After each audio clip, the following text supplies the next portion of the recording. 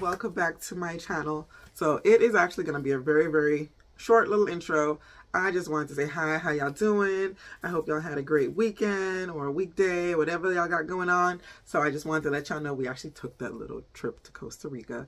Um, it was for a destination wedding, not us. My cousin was getting married, but we also made it into a little family vacation. We were able to have fun with the family. Some of the cousins we haven't hung out with in a while, we actually were able to get together and actually have a good time.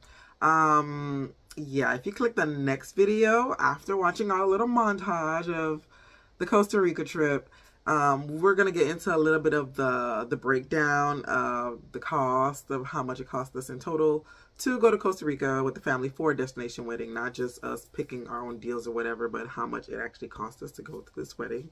Um, and basically what we did while we were over there. So I hope you enjoy our little montage. Don't forget to like and subscribe, guys. Bye.